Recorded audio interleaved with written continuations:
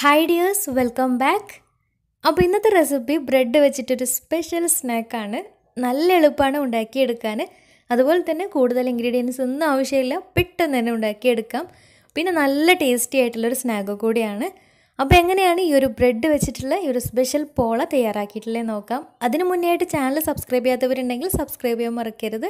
തൊട്ടടുത്തുള്ള ബെല്ലൈക്കണും കൂടെ ഒന്ന് ക്ലിക്ക് ചെയ്യുകയാണെങ്കിൽ ഇനി ഞാൻ പുതിയ വീഡിയോസ് ഇടുമ്പോൾ അതിന്റെ നോട്ടിഫിക്കേഷൻസൊക്കെ പെട്ടെന്ന് തന്നെ കിട്ടുകയും ചെയ്യും. അപ്പോൾ ഈ ഒരു സ്നാക്ക് തയ്യാറാക്കി എടുക്കാൻ വേണ്ടിയിട്ട് ആദ്യം തന്നെ ഒരു മൂന്ന് പീസ് ബ്രെഡ് എടുത്തിട്ടുണ്ട്. ഇനി ഇത് ചെറിയ സ്ക്വയർ ആയിട്ട് ഇതുപോലെ ഒന്ന് കട്ട് ചെയ്തെടുക്കാം. അപ്പോൾ മൂന്ന് ബ്രെഡും ഇതുപോലെ കട്ട് ചെയ്തെടുത്തിട്ടുണ്ട്. ഇനി ഇതൊരു ബൗളിലേക്ക് മാറ്റാം. ഇനി ഇതിലേക്കൊരു കാൽ കപ്പ് പാൽ ഒഴിച്ചു കൊടുക്കാം. ഒരു നാല് ടേബിൾ സ്പൂണൊക്കെ മതിയാവും. എന്നിട്ട് ഇത് നന്നായിട്ടൊന്ന് മിക്സാക്കി എടുക്കണം. അപ്പോൾ ബ്രെഡിന്റെ പീസൊക്കെ പാലിൽ നന്നായിട്ടൊന്ന് കുതിർന്ന് കിട്ടണം. അതിന് വേണ്ടിയിട്ടാണ് പാലൊഴിച്ചിട്ട് മാറ്റി വെക്കുന്നത്. ഇനി ഇതൊരു ഭാഗത്തേക്ക് മാറ്റി വെക്കാം. ഇനി വേറൊരു ബൗളെടുത്ത് അതിലേക്ക് മൂന്ന് കോഴിമുട്ട പൊട്ടിച്ചൊഴിക്കാം. ഇനി ഇതിലേക്ക് രണ്ടോ മൂന്നോ ടേബിൾ സ്പൂൺ സവാള ചെറുതായിട്ട് നല്ല കനം കുറഞ്ഞ് അരിഞ്ഞെടുത്തിട്ടുള്ളതാണ്. അതും കൂടി ചേർത്ത് കൊടുക്കാം. അപ്പോൾ ഒരു സവാളേന്റെ ഒരു കാൽ ഭാഗമൊക്കെ മതിയാവും. കൂടുതൽ ചേർത്ത് കൊടുക്കേണ്ട. പിന്നെ വേണ്ടത് ഒരു കഷ്ണം പച്ചമുളക് ചെറുതായിട്ട് വട്ടത്തിൽ കനം കുറഞ്ഞ് അരിഞ്ഞെടുത്തിട്ടുള്ളതാണ്. പിന്നെ അതിലേക്ക് ചേർത്ത് കൊടുക്കുന്നത് കുറച്ച് മല്ലിയില ചെറുതായിട്ട് കട്ട് ചെയ്തിട്ട് അതും കൂടി ചേർത്ത് കൊടുക്കുന്നുണ്ട്. അതിന്റെ കൂട്ടത്തിൽ കുറച്ച് കറിവേപ്പിലയും കൂടി ചെറുതായിട്ട് കട്ട് ചെയ്തിട്ട് ചേർത്ത് കൊടുത്തിട്ടുണ്ട്. ഇനി പാകത്തിന് ഉപ്പും കൂടെ ചേർത്തിട്ട് നന്നായിട്ടൊന്ന് മിക്സാക്കി എടുക്കണം. അപ്പോൾ നന്നായിട്ട് തന്നെ മിക്സാക്കി കിട്ടണം. നന്നായിട്ട് ഇളക്കി മിക്സാക്കി എടുക്കാം. അപ്പോൾ നന്നായിട്ട് മിക്സാക്കി എടുത്തതിന് ശേഷം ഇനി ഇതിലേക്ക് നേരത്തെ പാലിൽ കുതിർത്ത് വെച്ചിട്ടുണ്ടായിരുന്ന ബ്രെഡും കൂടി ചേർത്തിട്ട് ഒന്ന് ഇളക്കിയെടുക്കാം.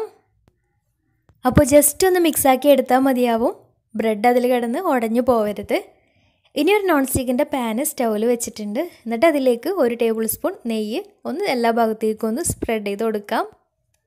ഇനി നേരത്തെ റെഡിയാക്കി വെച്ചിട്ടുള്ള കൂട്ട് ഇതിലേക്ക് ഒഴിച്ചിട്ട് എല്ലാ ഭാഗത്തേക്കും ഒന്ന് സ്പ്രെഡാക്കി കൊടുക്കുക. ഒരു സ്പൂൺ വെച്ചിട്ടോ ഇതുപോലെ ഹാൻഡ് വിസ്ക് വെച്ചിട്ട് ഒന്ന് എല്ലാ ഭാഗത്തേക്കും ഒന്ന് സ്പ്രെഡാക്കി കൊടുത്താൽ മതിയാവും. അപ്പോൾ ബ്രെഡൊക്കെ എല്ലാ ഭാഗത്തുമായിട്ട് നിൽക്കണം അപ്പോൾ ഒന്ന് സ്പ്രെഡാക്കി കൊടുക്കുക. ഇനി ലോ ഫ്ലെയിമിലിട്ടിട്ട് അടച്ച് വെച്ച് ഒരു പതിനഞ്ച് മിനിറ്റ് വേവിച്ചെടുക്കാം. പെട്ടെന്ന് വെന്ത് കിട്ടും. മുട്ടയായത് കാരണം പെട്ടെന്ന് തന്നെ വെന്ത് കിട്ടും. പിന്നെ ഇതുപോലെ വേവിച്ചെടുക്കുന്ന സമയത്ത് ഈ ഒരു പാനിന്റെ താഴെയായിട്ട് പഴയ ഏതെങ്കിലും നോൺ സ്റ്റിക്കിന്റെ പാനോ അല്ലെങ്കിൽ ഏതെങ്കിലും അലൂമിനിയത്തിന്റെ അടപ്പൊക്കെ ഉണ്ടെങ്കിൽ അത് താഴ്ഭാഗത്ത് വെച്ചിട്ട് വേവിച്ചെടുക്കുകയാണെങ്കിൽ അടിഭാഗം പെട്ടെന്ന് കരിഞ്ഞു പോവില്ല. കറക്റ്റായിട്ട് കിട്ടുകയും ചെയ്യും. അപ്പം അങ്ങനെ ഉണ്ടെങ്കിൽ അത് വെച്ചിട്ട് ചെയ്തെടുത്താലും മതിയാവും. ഇനി ഒരു പതിനഞ്ച് മിനിറ്റ് കഴിഞ്ഞിട്ട് തുറന്ന് നോക്കാം. അപ്പോൾ ഏകദേശം ആയിട്ടുണ്ടാവും. മുകൾ ഭാഗമൊക്കെ ഒന്ന് സെറ്റ് ആയിട്ടുണ്ടെങ്കിൽ ആ മുകൾ കറക്റ്റായിട്ട് വെന്തിട്ടുണ്ടാവും. അപ്പോൾ ഇത് ഏകദേശം പതിനഞ്ച് മിനിറ്റ് ആയപ്പോൾ തന്നെ കറക്റ്റായിട്ട് വെന്ത് കിട്ടിയിട്ടുണ്ട്. പെട്ടെന്ന് തന്നെ വെന്ത് കിട്ടുന്നുണ്ട്. ഇനി ഇത് വേറൊരു പാനിലേക്ക് ഓയിൽ ബ്രഷ് ചെയ്തിട്ടുള്ള അല്ലെങ്കിൽ നെയ്യ് ബ്രഷ് ചെയ്തിട്ടുള്ള ഒരു പാനിലേക്ക് ഒന്ന് മറിച്ചിട്ടിട്ട് മുകൾ ഭാഗം ഒന്ന് ഒന്ന് ബ്രൗൺ കളറാക്കി എടുക്കാം. ഒന്ന് ജസ്റ്റ് ഒന്ന് കളർ മാറ്റി കിട്ടിയാൽ മതിയാവും. പിന്നെ ഈ ഒരു പോള മൂന്ന് മുട്ട വെച്ചിട്ടായത് കാരണം കൂടുതൽ ഹൈറ്റ് ഉണ്ടാവില്ല. അപ്പോൾ കൂടുതൽ ഹൈറ്റ് വേണമെന്നുണ്ടെങ്കിൽ നാലോ അഞ്ചോ മുട്ട വെച്ചിട്ടും അതുപോലെ തന്നെ കുറച്ചും കൂടെ പാലും ചേർത്തിട്ട് ഒന്ന് മിക്സാക്കി എടുത്തിട്ട് ഉണ്ടാക്കിയെടുത്താലും മതിയാവും. പിന്നെ അതിലേക്ക് ബ്രെഡ് എക്സ്ട്രാ ചേർക്കണമെന്നൊന്നുമില്ല. വേണമെന്നുണ്ടെങ്കിൽ ഒന്ന് ഇതുപോലെ ഒന്ന് കട്ട് ഒന്നും കൂടെ ഇതിലേക്ക് കട്ട് ചെയ്തിട്ട് ചേർത്ത് കൊടുത്താലും മതിയാവും.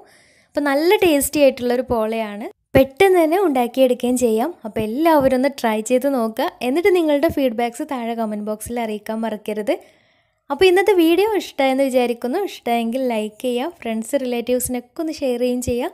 അപ്പോൾ നല്ല വീഡിയോയുമായി വീണ്ടും വരാം. അതുവരെ ടേക്ക് കെയർ ബൈ താങ്ക്